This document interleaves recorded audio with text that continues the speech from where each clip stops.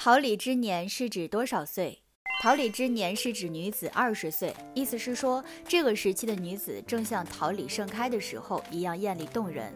对于男子而言，二十岁成为弱冠，表示戴上已经成人的帽子，已是成年。桃李之年的原本称谓是桃李年华，桃李盛开，明艳动人，比喻女子也是极好的赞美。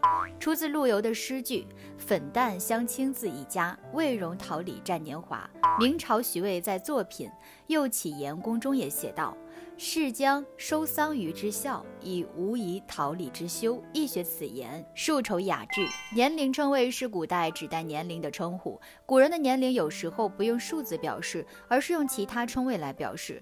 年龄称谓大多是记载在书籍之中，然后被沿用至今。